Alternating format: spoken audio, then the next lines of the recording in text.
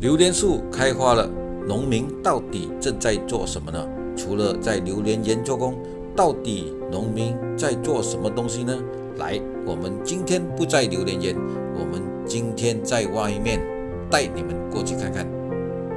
今天就跟我的父亲到了这家店，这家店的东主蛮年轻的，跟他聊着聊着，发现原来这是他父亲开创的事业。这间店虽然不大，里面却什么东西都有。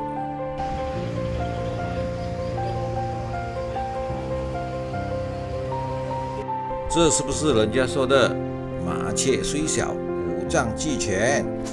好了，随便买几样东西哦，就花了两千多块马币。哎呀，我的妈，老兄，大家啊，来看看一下啊，这我们可以做什么东西呢？就努力去赚钱的嘛。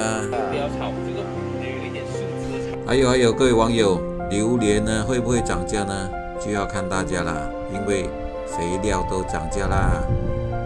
哎，我这边就要呼吁一下，马币马币呀，要争气一点，不然的很快我们就变成麻痹麻痹了。好，我们玩买完了，我们就要去做工了，拜拜，下次我们再见。Thank you.